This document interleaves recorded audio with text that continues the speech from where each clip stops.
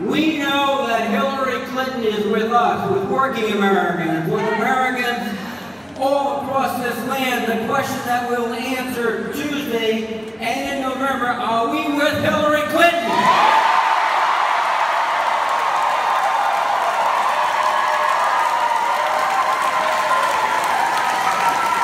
Ladies and gentlemen, my colleague, my friend, our distinguished former senator our distinguished former Secretary of State, Hillary Rodham Clinton.